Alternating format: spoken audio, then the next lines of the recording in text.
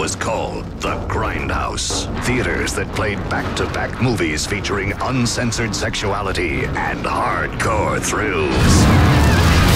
Now, Tarantino and Rodriguez are bringing The Grindhouse back with two explosive feature films. First, They're stealing biochemical weapons. when the laws of science are broken, last hope for humanity rests in the hands of a few.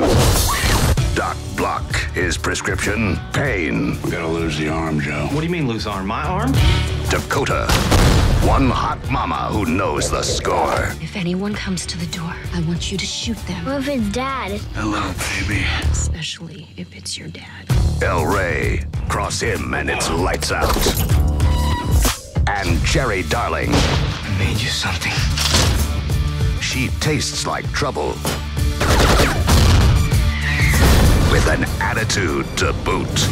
In Robert Rodriguez, Planet Terror. Then, Buckle up, because a new kind of terror is coming at 200 miles per hour. Ladies, we're gonna have some fun. There are a few things as fetching as a bruised ego on a beautiful angel. Is that cowboy wisdom? I'm not a cowboy, Pam. I'm a stuntman. Quentin Tarantino's Death Proof. This car is 100% death proof. Only to get the benefit of it, honey, you really need to be sitting in my seat.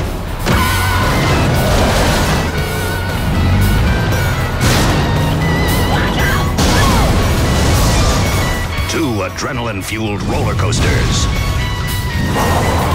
Ticket to ride.